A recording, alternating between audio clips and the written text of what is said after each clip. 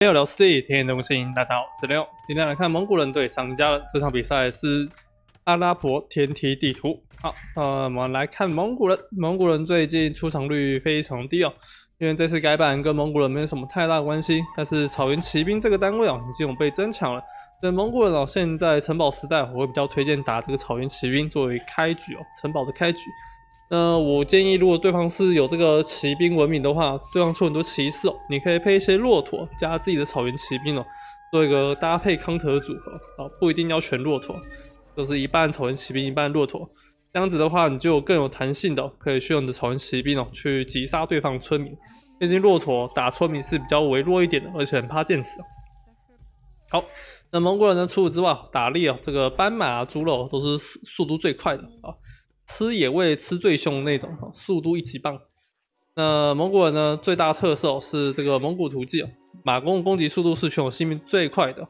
但是马弓这个单位哦，要成型是非常困难的，因为你需要点一下弓箭的攻防之外呢，还需要点品种，还有这个跟踪技术，这个跑速也要点，还有安息人战术、拇指环、弹道血、化学，离离扣扣加起来，这个蒙古人的成型时间哦是非常久的。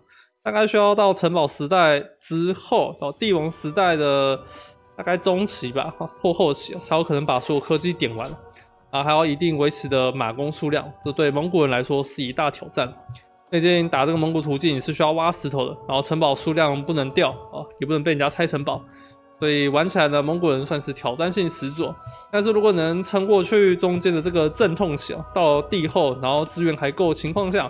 蒙古图记哦，基本上是快接近无敌的状态哦，超级强，想打谁就打谁。好，那接下来印加人，那，NBL 选择是印加人。印加人在这次改版哦，是增幅最大的文明哦。它的这个食物减免的效果，可以让所有的军事单位哦，有这个食物减免效果非常多。那，除此之外哦，还可以烧这个软甲技术的加成哦。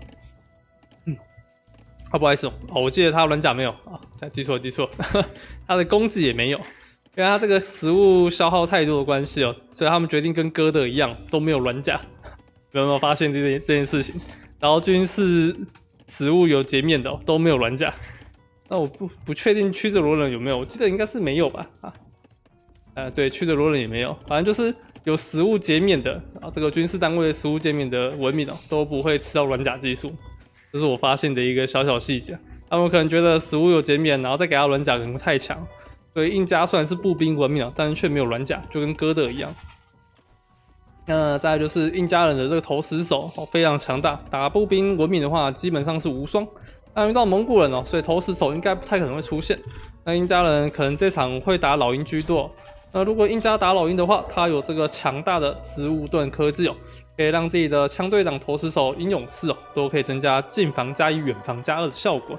所以他的老鹰哦，也是全游戏最硬的老鹰哦，远防远防好像可以到死的样子吧？还是八？应该是八吧？啊，可能是八远防还是十远防？有点忘记，真的忘记了哈。那目前感觉算起来一加二，然后加四。对，是四加四，应该是十远方吧。然后如果蒙古突击是十二攻啊，所以打下老鹰的话是两滴血，所以很坦。那我觉得枪队长这个单位哦，在打蒙古来说其实也蛮好用的，因为蒙古一开始是没办法直接出蒙古突击的哦，除非他打这个射箭场的马弓，那就另当别论了。呃，如果枪队长城堡时代出来有城堡之后，对方出一堆草原骑兵或骆驼。甚至出这个大陆马，因为蒙古大陆马有这个血量三十 percent 效果，跟草原骑兵一样。那印加人的这个枪队长这个效果其实还不错，打步兵跟对方的马都很好用。基本上枪队长你就可以把它想象成是需要耗费黄金的骑兵就可以了，而且是有一一格射程的骑兵哦。所以我觉得枪队长来说，在一些特定情况来说是蛮好用的，并不会太弱好，那我们就来看一下两边的一个打法吧。那这边 NBL 选择是采矿营地开局，那这边有可能是要打一个工兵开。那蒙古这边应该是打肉马开，十七批。那蒙古人呢，最适合打的就是肉马开了。最主要原因是因为它吃肉的效率很快。我们刚刚有说，吃大象、斑马的速度都非常快啊，所以它可以打个极限肉马十七批啊，或者十六批都可以。那我看过十五批的，我不知道是怎么配的，它居然可以十五批上。那一上上去经济超费了，然后最多呃大部分还是打一个十七 P 或十六 P 啊，十六 P 也是蛮少见的，十七 P 会比较正常一点。那以前大家都说二十 P 都是已经很快了，现在这个世界这个打法还真是一再更新啊，从二十一 P、二十 P、十九、十八、十七哦十六、十五都有了啊，这个 P 数一直慢慢往下降，越来越早上到封建时代，这个打架时间也变得更早。好，那鹰家这边是出了弓鹰斥候来打，那鹰斥候是打不赢对方的斥候骑兵的，主要是因为斥候骑兵是五攻，鹰斥候是四加零少一攻，呃，两边都是远防，但是鹰斥候它的这个跑速是比较慢的，所以很容易会被追被这个对方的刺候追着打啊。呃，没有长枪兵的情况下就很危险了，一定要有长枪兵来一起帮我防守。好，这边鹰手决定要去对方家里，那自己家可能就要先守好，你们可能要开始围了。好，看到手过来先围一下。好，长枪兵要继续按，这个长枪兵不能停，这里要赶快围，赶快围。好，手速赶快飙起来。好，然后有围好，一村都没死就很赚。好，下方果子也是，赶快围，赶快围。哇，下方来不及围了，没有这个时间，因为他在控前面的兵哦，又要在控后方，上面还没有围好，下面的金矿区也是，这边可能要死两村喽。哇靠，B Chest 直接拿到了 Double Kill，NBL 直接惨遭屠村，哎呀，NBL 前期应该是蛮强的玩玩家才对啊，突然被打打烂了，不然直接死两村。呃，我们一开始就有说这个果子的位置很重要，但没想到他果子在后面还是被砍到了，怀疑人生啊！要果子依旧还是要吃，但是这边可能要赶快先把自己的防守给补好，枪队这个长枪兵要一直赶快按了。好，这边没有控好，直接送一只马，因为家里现在被闹，马没办法第一时间控，这边原地直接开大，长枪兵也直接硬吃了这些马厩的伤害，也是直接收光。五只斥候的话，收掉长枪兵速度是很快的啊，就像刚刚那样子。那边这边直接收了三只的长枪兵，好，其实还蛮赚的。好，这边金矿只拿到了一村，NBL 获得的优势并不太大啊。呃 v c h e s t 这边的一个问题啊，就是到了封建时代之后，蒙古的经济优势哦，就很明显的会跟对手打出差距哦。往往对手的经济都是比较好的，哇，这要在哪一村啊？哇靠！这个 B Chest 真的是厉害。哎，这不是 B Chest 哎，啊，我刚刚看错了啊，不好意思。我看到前面这个名字，我就以为后面是 B Chest 啊，是同战队的人啊，不好意思，不好意思，这个播报错误啊，啊请大家多多见谅。这是我发觉到，我想奇怪为什么他的名字变得那么长，虽然他 B Chest 的名字本来就很长啊，这是播报比赛播太专心的时候都会这样子。一直在想这个对决里面哦，蒙古人跟印加人的这个打法，哪个细节上的一些打法要怎么打会比较好？那蒙古只要被逼到打毛兵的话，其实就对印加来说是蛮赚的一件事情哦。你只要拖到蒙古人上城堡时代，啊，只要让出毛兵拖一下，那就不会太亏。你这波前压基本上就算是有赚到东西的。那有空到这个金更赚啊，让对方直接断金，连那个城堡时代的资源更难囤。这边不知道会不会直接把自己的刺头拖回家？哎，斥候还在继续前面打。好，这边再围一下，长枪兵稍微在防，要戳到，呜，戳了一刀。好，工兵就踩这个高地啊，这个高地很关键了。好，那一斥候继续给对手压力。就是这边毛兵数量越多，其实越麻烦。这边村民直接要直接开打了，拿全套扁这个鹰刺猴，要虐！哇，这个村民就够凶。好，剩下用毛兵直接慢慢一个一个点掉就没问题了。好，这个毛兵居然还给我泡泡毛，啊，留过来。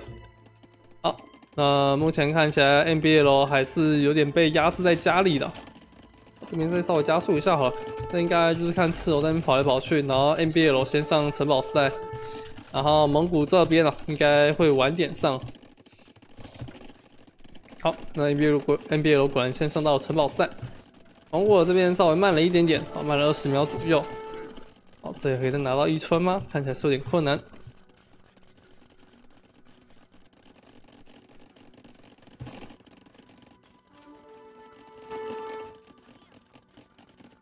好，第二波工兵出发，工兵虽然不多，只有五只，马上点一下二级木。弩兵升级不升吗？还是要打勇士？哇，打勇士啊！鹰勇士升级。那鹰勇士升级打蒙古人的话，蒙古人其实有优势的，因为蒙古人可以出这个草原骑兵哦，去抗衡对手的老鹰啊，其实也是蛮好用的。那出这个骑士也是很好打。只要不要出工兵系哦，蒙古就可以稳稳的过了。OK，果然转出了自己的草原骑兵。那蒙古的草原骑兵还有特色哦，就是血量特别多，应该来说是只有六十滴血的草原骑兵哦，现在变成九十八滴血，哇，这个坦度就很不得了啊！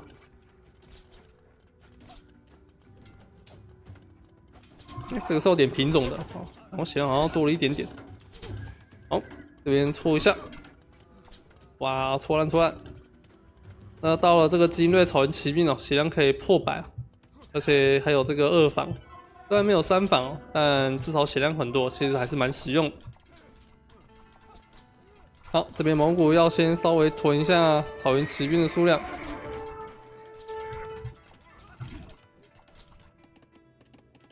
那印加这边出这个僧侣的话，效果其实就没这么好了。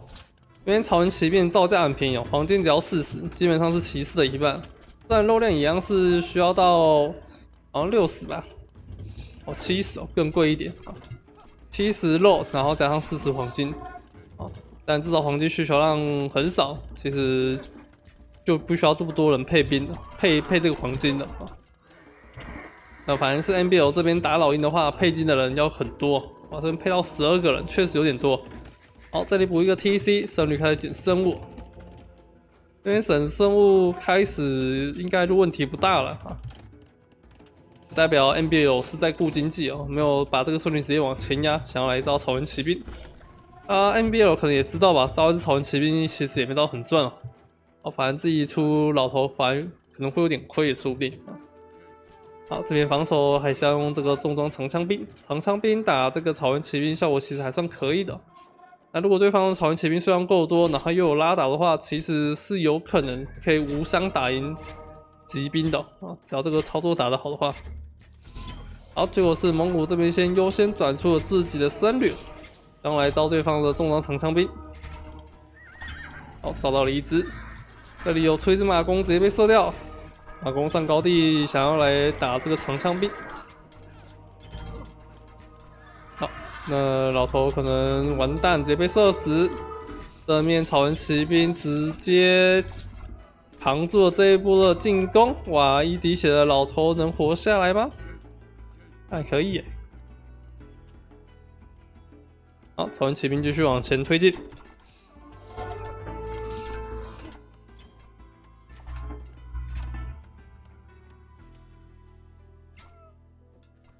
直接毒死啊！OK，蓝先马弓出来的话，长枪兵就不能这么有效果的去抵挡了。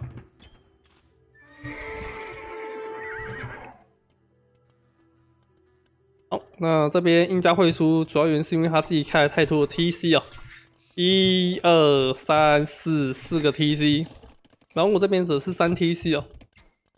呃，如果蒙古这边没有察觉到对方在农的话，会有点危险哦，因为很容易会让 NBL 农起来。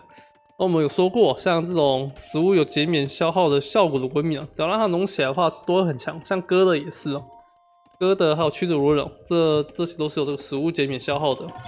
嗯，我觉得印加这边确实打得很漂亮，蒙古这边就有点显得尴尬，他现在压力非常大，不能让对方浓起来。但是他这边兵一进去哦，看到这么多 TC，可能心也凉了，啊，就啊，干，对面真的再浓了，怎么办？自己又没办法武力抵抗。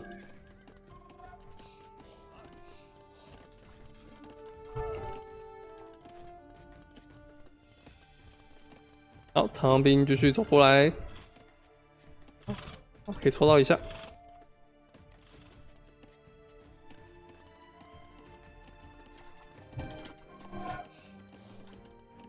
好，蒙古这边开始注重经济哦，直接开出了轮轴技术。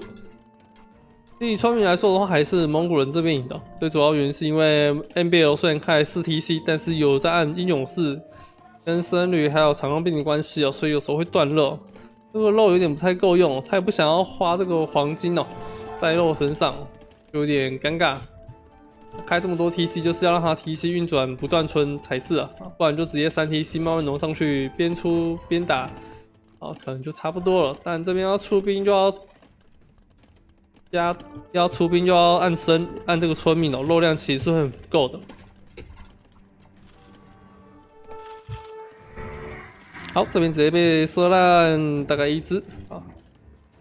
好，这边 NBL 继续给对手压力，现在草原骑兵分两队，一队在这里闹，另外一队在正面跟 NBL 做一个交战。好，草原骑兵继续绕。好，这边草原骑兵上高地想要反打一波，但是应该是没有控好这一坨草原骑兵加马弓，可能要送光了。哇，NBL 这边使用用自己的老鹰打出了优势出来。很强势的城堡推硬加，这个招式要被瓦解了吗？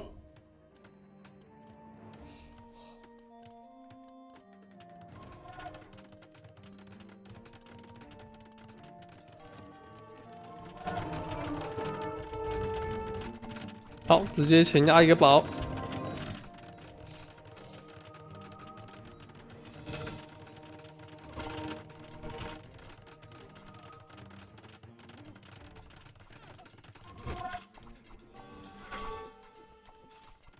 前方再补一个城镇中心，哇！NBL 这边铁了心要爆农了。但目前 NBL 并没有一个大动作，即使在前线盖堡，也只是要控对方主金哦，并不是真的想一套打死对手。所以这边很有很大的概率哦，NBL 是不会开始爆兵的。反正继续爆自己经济哦，反正要爆兵到电龙时代再说也来得及。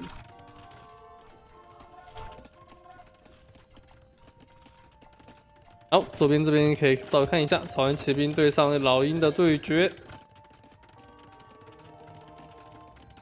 那后方有四只僧侣在做招降，这里要突围吗？好，这边看起来草原骑兵没办法捞得到啊，直接送掉。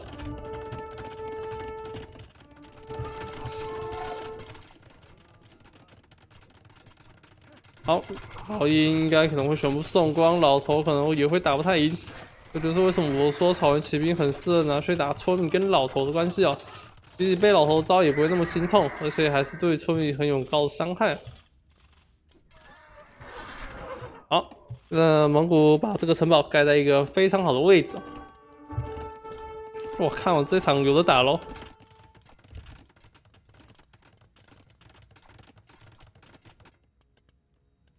那我觉得 NBL 这边就继续打自己的战矛兵，加上老鹰啊，其实强度都差不多了。那真的对方开始爆这种大肉马的时候，再转出自己大骑兵来说会更好一点。或者帝王时代直接升骑兵也 OK 哦，骑兵然后战矛，然后再就弩兵哦，这三种选择是现在硬家的首选。那工程器要不要打，有点看兴趣吧。如果是我的话，我就不会打了。我觉得打弩炮有点累啊。但是蛮有趣的，弩炮这个单位，但是主动性还不太够。然后这边草原骑兵直接抓到开 TC 的村民，很赚。好，直接走出去，这边自敌 TC。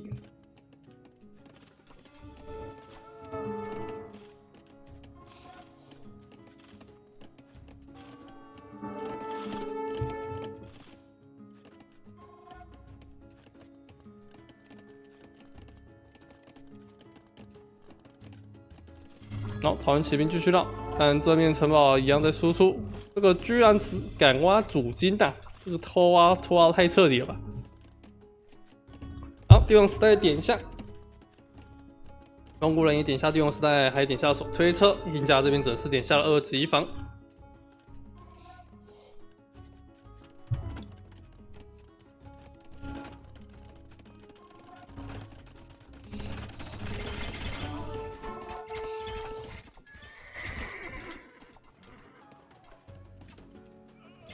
好，蒙古徒弟现在利用自己的高地优势，还有射速，想要来拯救一下这些的草原骑兵，但是这边直接被包住，草原骑兵直接渡了进去，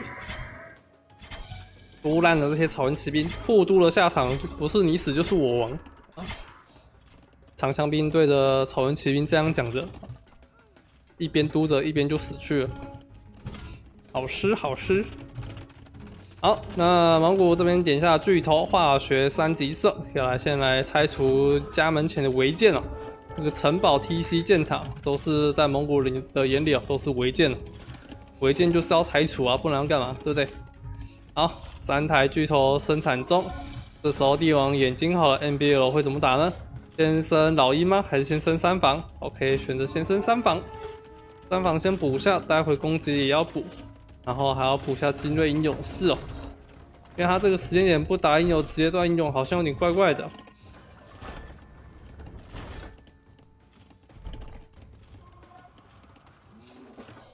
好，这头兵继续在闹这个长枪兵。好，直接点一下植物盾跟板甲，三级防也好了。植物盾一好，远防是三加六。哦，九防哦，不是十防。哦，不是啊，是十房没错啦。他还没有点精锐老鹰，自己吓自己，我还以为我记错了。哎，然后奇怪，这个八加八应该是一般老鹰的数字才对啊。四加四啊，不是八加八。四加四就是八房嘛，那精锐的话应该是四加四，然后再加二的植物盾哦。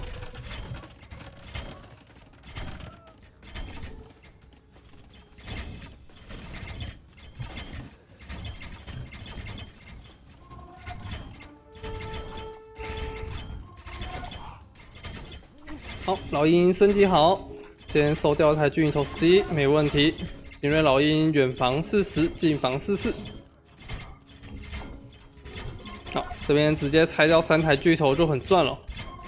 虽然 NBL 的城堡跟 TC 全部被拆光，但是这边拿老鹰来打这个巨头还是 OK 的。待会还可以用这个老鹰来打反打这些马语不是马语射手，这个蒙古图记也说不定也是 OK 的。但我觉得可以转点战矛兵的哈，毕竟病家人也是有三攻三防，转战矛也不会弱到哪里去。好，这边草原骑兵直接把对手给嘟了回去。那个老鹰跑出来，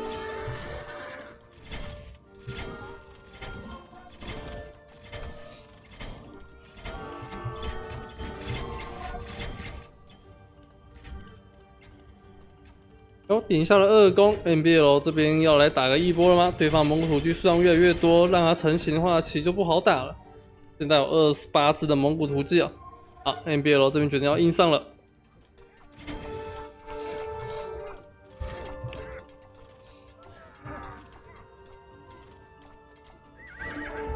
但是还没有三攻哎，这个时间点感觉上的还是有点偏早。蒙古图记跟老鹰直接兵分好几路，中间这边稍微打了一点蒙古图记的数量。但是原地障碍的关系，自己是承受了一点单位的消耗。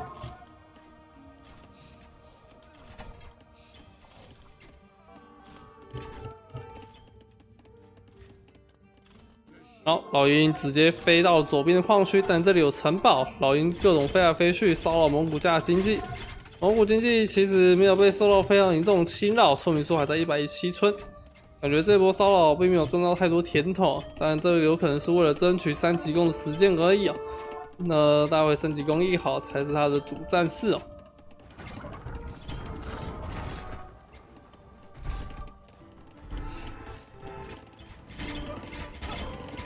好，蒙古土地在后方被反打了一下，虽然少了一些单位。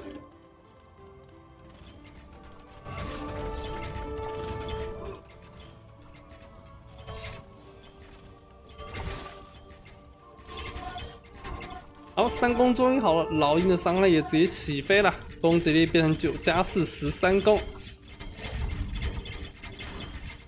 好，但是有植物盾的老鹰其实还是蛮难扛这个蒙古图记的伤害的，十二攻。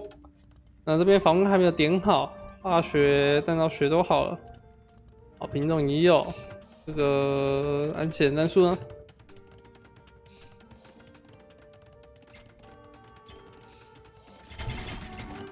哦，经有点安息了，是不是？看起来是有点像。哇，这边底下工程工程师印家看来是要来打工程器了，呃，很有可能是要增加一下巨型头实际的这个输出射程。但是就算积极增加的话，对方的蒙古突击还是很轻易拆掉的，毕竟蒙古突击对工程器有外伤害啊。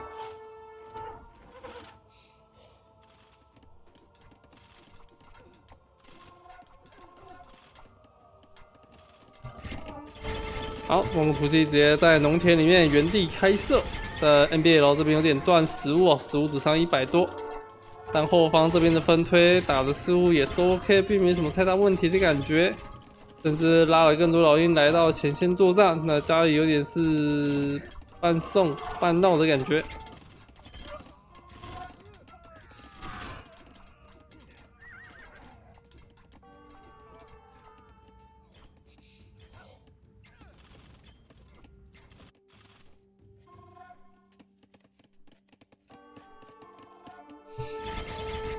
好，蒙古突击这边上了高地，老鹰不敢回救，但老鹰这边直接飞进去，确实是一件好事哦。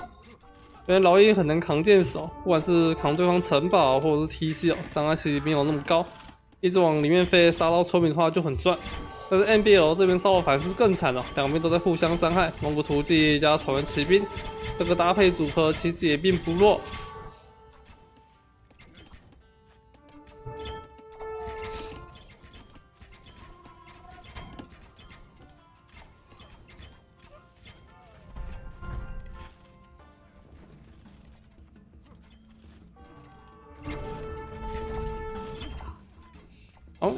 这看起来数量不够多，左边的印加老鹰直接飞了进来，包括土地数量已经快要没有了，哇，这边一直被多打多线了，一直在对方家里骚扰，这里只剩三只，这边可能要把大军派回来了，自己的主力部队还在野外，家里已经快被攻破，NBL 这边打一个分推战术打成 OK 啊，家里用少量的兵挡。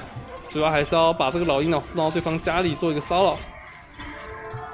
好，村民这边做完反超，NBL 这边顺利的要来拿下这场比赛的胜利了吗？后面又跟着老鹰追过来，对影头死在这边，大家要小心哦。蒙古突击打工程器是额外伤害的。好，这边能够收下吗？哇，还是跑掉了。巨头要来拆，但这边应该会直接顺利点掉一台。两台巨头，三台，轻松解掉啊！